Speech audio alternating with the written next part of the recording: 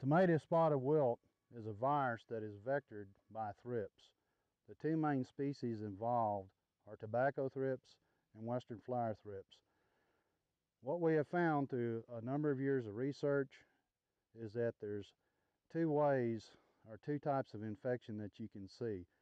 Primary infection is the initiation of the disease into the field and secondary infection.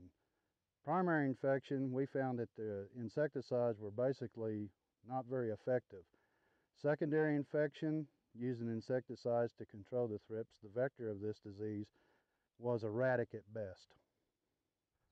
Uh, by and large, in West Texas, we do not have uh, tobacco thrips as a vector of a specific disease that we see, which is a virus called tomato spotted wilt virus.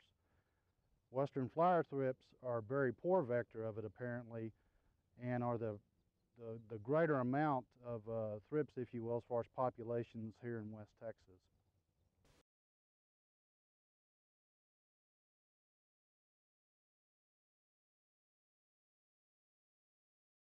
The foliar symptoms of spotted wilt can be described as ring spotting, lightning bolts, uh, water-soaked looking lesions,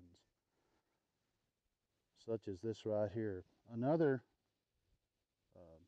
symptom that can be encountered will be leaf, uh, the leaves flipping over, and again the lightning bolt uh, symptomology.